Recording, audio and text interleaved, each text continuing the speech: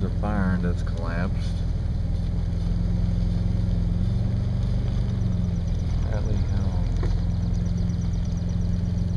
There's a tractor over there.